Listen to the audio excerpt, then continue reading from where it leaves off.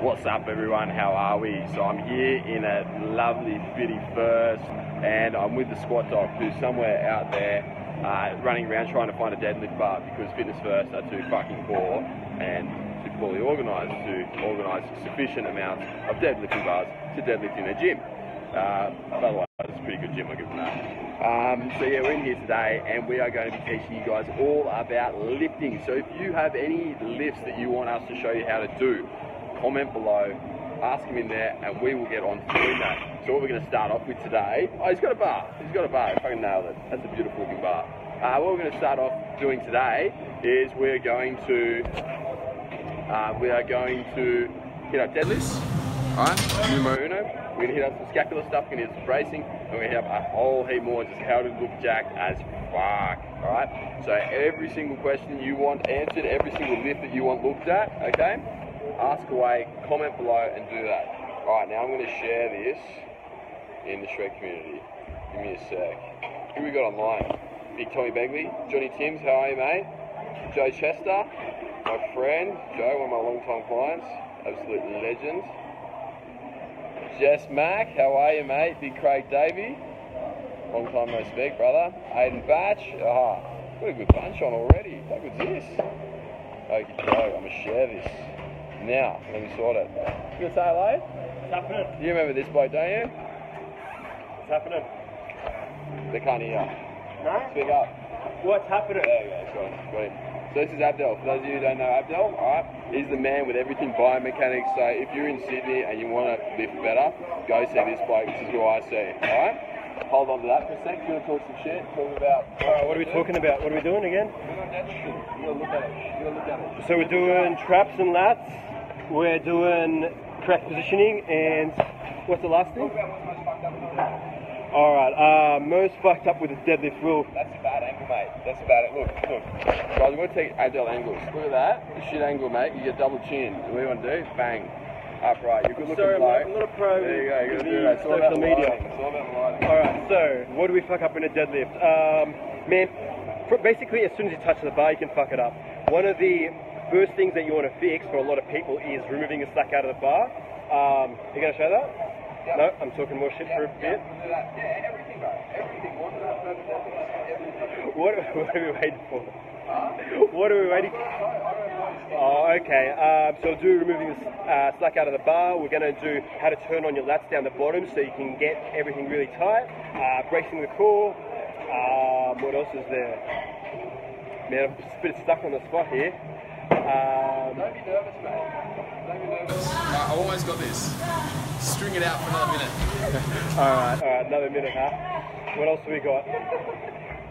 That was, that was fucking painful to watch. Who else we got? I couldn't last more than 30 seconds. Alright, so I'm gonna take over now. I'll look after talking. Abdel's good with the smart stuff, but it gets nervous in front of people. Alright. so we got Aiden Bachelor, Jimmy Donovan, Alison Andrew. How are you, mate? Long time no see. Lukey Glasson and uh. Alright. Well, let's do it now, mate. So we're gonna get straight into deadlifting. Okay, like Abdel, do you wanna run us through? Let's go. Let's go through the biggest thing that people fuck up with deadlifting. All right, Uh, the biggest thing that people fuck up with deadlifting is removing the slack at the start. You've got to think, let's start as soon as you touch the damn bar. So like I was saying before, removing the slack is really important. You can, you can fuck up a lot of things, but as soon as you touch the bar, if you don't push into the ground with your heels to take the tension to, to take the tension out of the bar, what's going to happen is there's going to be a double momentum between when the bar lifts and hits that plate.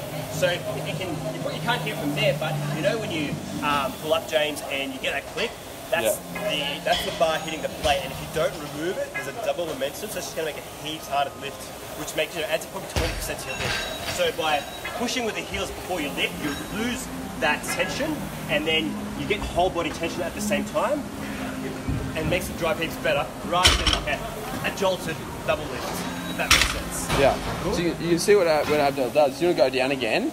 Show us how you lift it when you lose. So I don't know if you can see this, guys. If So you lift it when he's saw like- loose, you hit it a bit of a you jag, see how there was, a, there was a little jag when he did that. Whereas now when you're tight, the Watch the bar. with heels, get the whole body tension as well. Yeah, really Move tight. the slack out of the bar by pulling up slightly and pushing with the heels. Oh, Much bang. So it's really, really, really snappy. I'm actually going to try and show him the bar. So what Basically, shows look- the, look, the you- slack. Come, around, come around here, and you'll see the, you'll see my hand raised. So, see how like when I pull up, the bar actually raises slightly. Do you see that? Yeah, can you see that, guys? The bar just slightly goes up. Yeah. So that's the bar hitting the top of the plate. If you don't do that, as soon as you lift, it's going to hit the plate, and then it's going to come up. Yeah. And that's actually just going to slow you down heaps. So. By removing the slack out of the bar, you remove that obstacle and you create whole body tension and tightness, which means you lift heaps better. Yeah. I was literally the biggest offender of not taking the slack out of the bar, and it really fucked my deadlift. I was still- still pulling 240, but it was an ugly 240 when I was doing it. Really, really shit. Put the pressure in all the wrong areas, and that's what I want to go on to now. One of the next thing is why so many people fuck their bracing up when they're deadlifting. Why they just cannot brace when they're deadlifting. Can you feel me for this one, bro? Ready? So most people, when they deadlift, okay, what they'll do is they'll do this, right, and then the bar will be out there, and they're going to deadlift like that. So it's like, like that, and actually really cave forwards like that. And the reason why that is because they're not tight through here. They can't. They've got no brace. They can't actually physically hold anything in there because their gut's so fucked, right?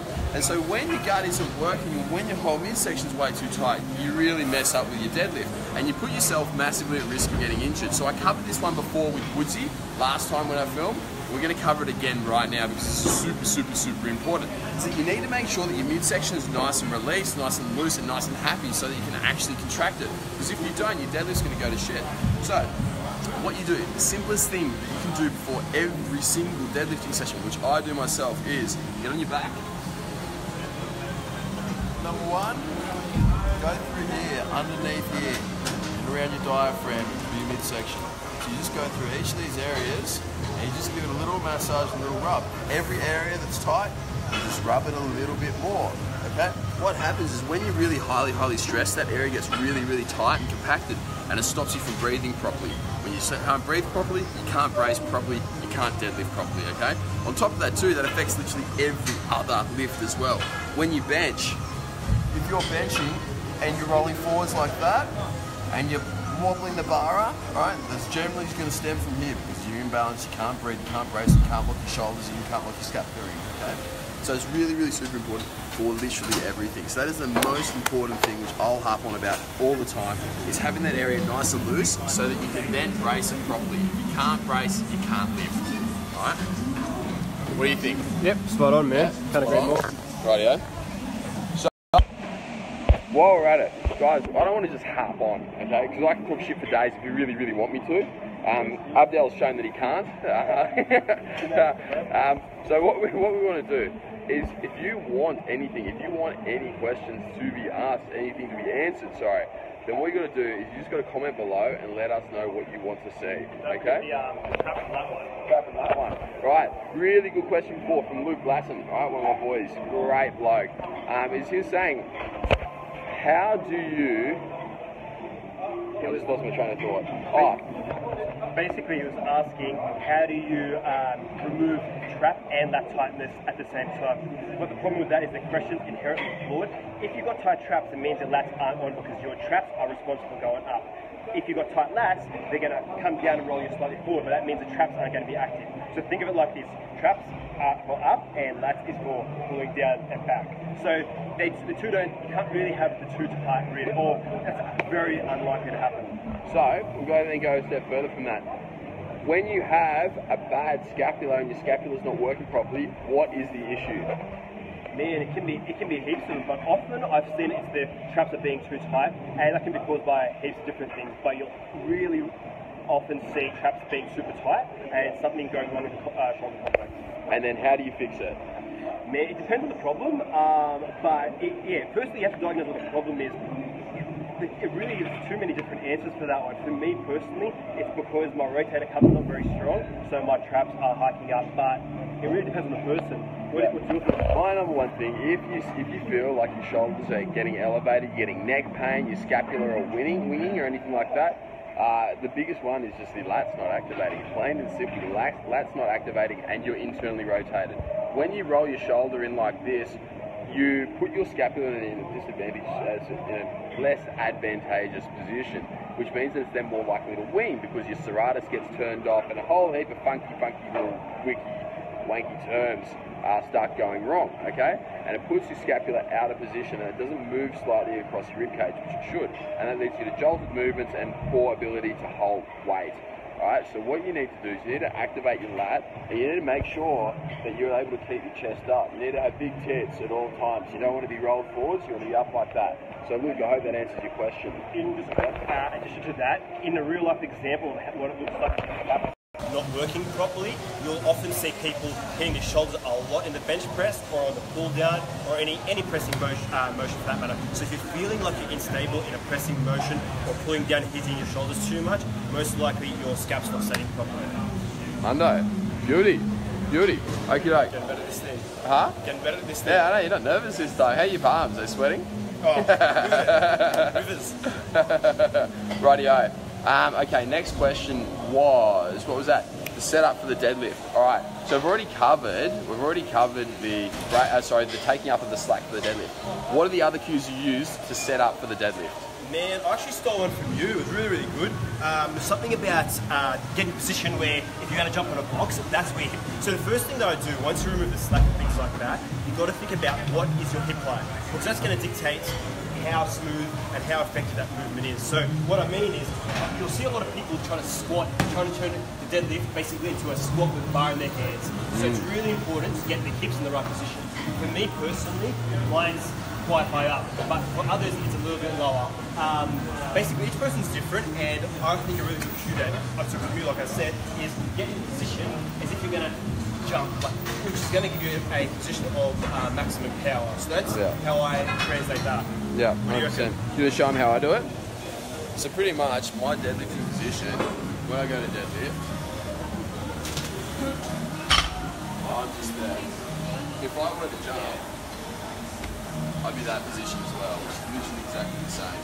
Just from there. And that's how high you want your arms to be. So if I go to jump, go from there, if I go to deadlift, same spot, exactly the same spot. And that's the easiest way to find your height. Now everyone's got different biomechanics.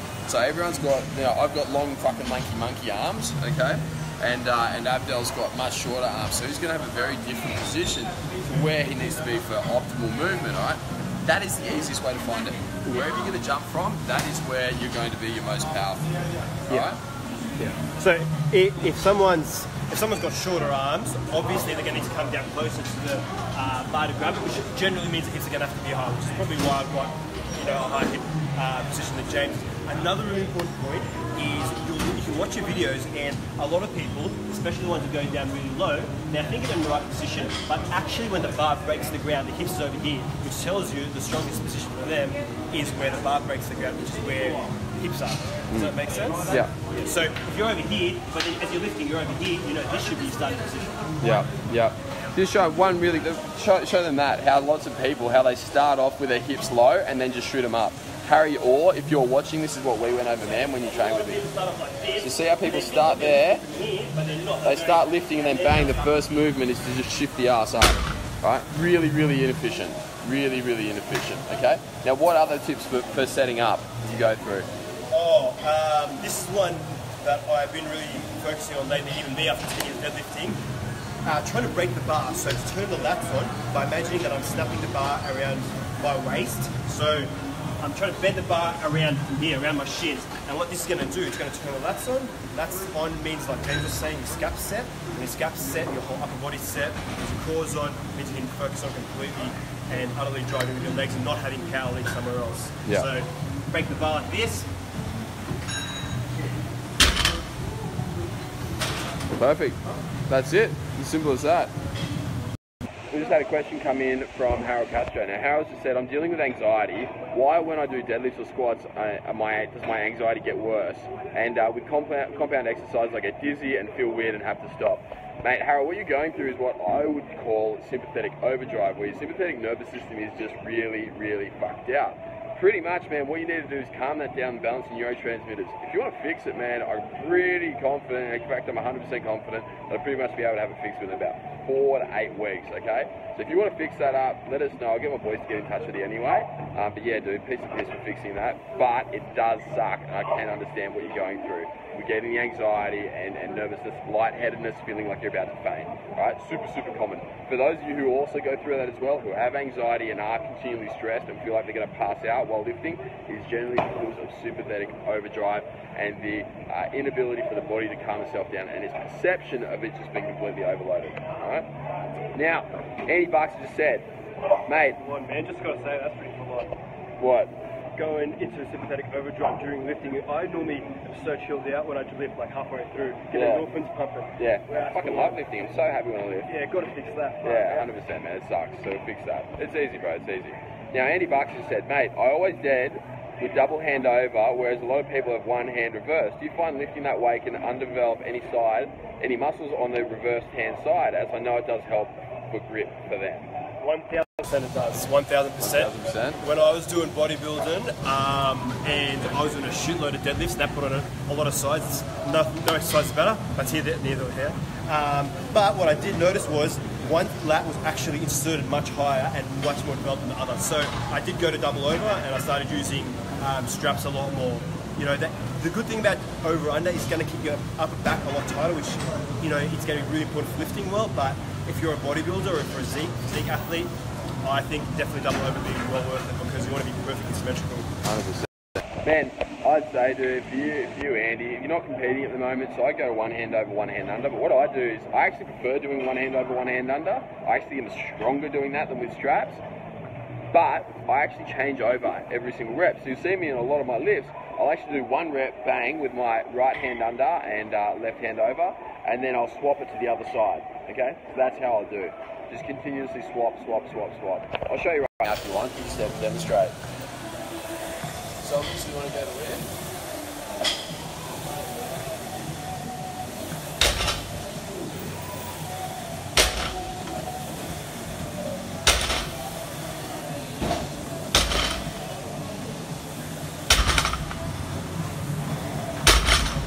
Like that. Swap over side to side to side to side. It's harder that way, yes, because you can't bounce the weight and you are constantly resetting.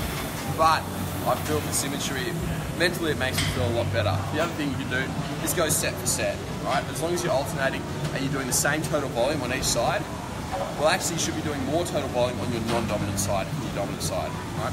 That's what I recommend. Fucking bugger it. How many reps did I do then? Like Four. Four? too many. Very too many. Very too many. All right, sweet. Do we have anything else? Let's have a look here. What do we got?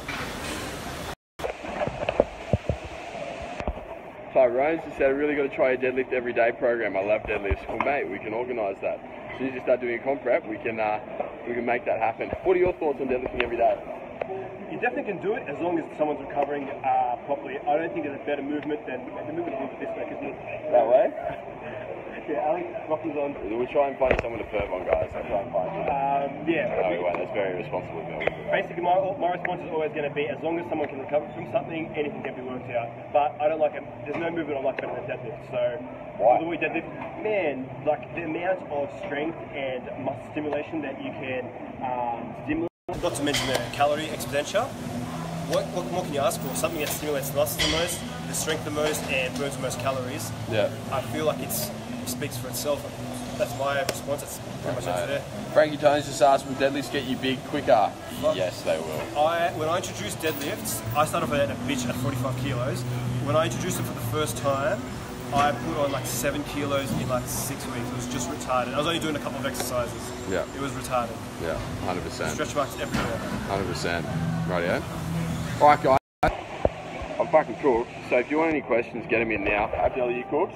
Good. Abdel's cooked. So you've got two minutes to get in some questions now. We're going to keep rambling through a little bit more stuff to help you optimize your gains.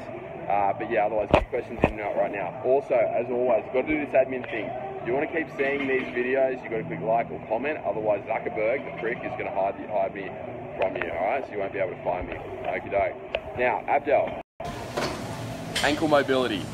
All right. What is the best way to improve motion in the ankle? Man, the best way would be through a lot of man work and things like that, releases in that manner. But to be completely honest, I've completely changed my attitude towards it. The amount of time you need to spend mobilising it, especially if you're busy, I've just gone to squat shoes now, to be honest. I've gone the lazy way, but my squats are a lot better, and I, it really- takes me two hours to train, so I've just gone the easy way and gone for um, for uh, squat shoes because you can't understate how important it is to have good ankle mobility for another as well. Right, yeah. I completely agree with that. Now, Sis just asked, brah, thoughts on Cali Muscle saying deadlifts are a waste of time? What do you think about? Do you know Cali Muscle? Yeah. The big fucking huge black dude that's ridiculously. He's got a sick physique. He's got a sick- and he seems like a funny bloke too. He seems like a legend. He, yeah, yeah, but look, my respect for him was about at one percent. Now it's at zero after that comment. To be honest, Yeah. Uh, I think I think he's he'd say anything for money. That's Yeah. just the most retarded thing I've heard in my life. Yeah, yeah, fair enough. Now, Frankie's just asked, how would you go about deadlifting for the first time? I've never tried them, but very eager. What would you recommend? Get someone who knows what they're talking about to show you. One, so you don't hurt yourself. Two, so you save yourself about three years of learning. And three, so you don't hurt yourself. 100% completely agree. Get someone to check your form. My form was shit when I first started, right? And it took me years to get out of those movement patterns. In fact, I'm still getting out of it. Yeah, still, we're still both got shit deadlift form. took us an hour to warm up today properly because our Yeah. was shit house. Yeah, hundred percent. Man, just learn how to do it properly. Do it snappy. Don't worry about lifting too big, too quick. Just focus on getting that form massive, and make sure that you're actually seeing back glute and hamstring development before you start increasing the weight too much more. Because as you're just new to the exercise, you should actually get a shitload of development really quickly out of doing very little weight. So make sure that the form is perfect, your contraction's mental, your back and your lats should be on fire at all times, as well as your glutes. Yeah, man. Great. Definitely. If you're one thing is eh, that straight away when I'm teaching someone how to lift a deadlift, I'll ask them where they're feeling it. They should be feeling it in their hamstrings and their glutes. But most people will say their lower back a lot if they're model. So if you're doing the deadlift and you're feeling your lower back more than anything else, you're doing something wrong. Get it fixed. Get it sorted out. If you're feeling in your glutes and hamstring, you're at least doing something right. Yeah, hundred percent. Completely agree. All right, guys. On that note, I'm out. I'm cooked. Abdel, See you next time. See you next time. Enjoy.